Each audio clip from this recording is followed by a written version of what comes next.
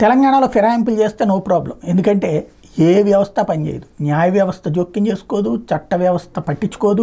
కేసీఆర్ దానికి సాక్ష్యం. ఏకంగా వేరే పార్టీ నుంచి వచ్చినటువంటి వాళ్ళకి మంత్రులుగా ఇచ్చి మరి పదవులు ఇచ్చారు. చిట్ట చివరి రోజు దాకా స్పీకర్లు కోర్టు జోక్యం లేకుండా అడ్డుపడ్డారు. అదేంటో బీజేపీ పాలిత రాష్ట్రాలు అయితే కోర్టులు జోక్యం చేసుకుని అర్జెంటుగా బల నిరూపణ చేసుకుంటావు లేదా వాళ్ళ మీద వేటేస్తావా లేదా అటు తేలుస్తావా ఇటు తేలుస్తావా అంటూ మహారాష్ట్ర కర్ణాటక ఇట్లాగా అనేక రాష్ట్రాలు జరిగినాయి. మరి అదేందో ఆంధ్ర తెలంగాణలో మాత్రం కోర్టులు జోక్యం చేసుకో ఇంతకుముందు ఇరవై మూడు మంది ఎమ్మెల్యేని చంద్రబాబు తీసుకున్న అటు పక్కన ఏదైతే కేసీఆర్ తీసుకున్నా ఏమీ కాలేదు. ఇప్పుడు అదే పరిస్థితి. ఎందుకంటే స్పీకర్ మన చేతుల్లోనే ఉన్నారు. కాబట్టి ఇప్పుడు వస్తున్నటువంటి ఎమ్మెల్యేలు అట్లాగే శాసనమండలిలో కూడా ఆ విధమైనటువంటి ఎత్తుగడ వేసుకొస్తుంది.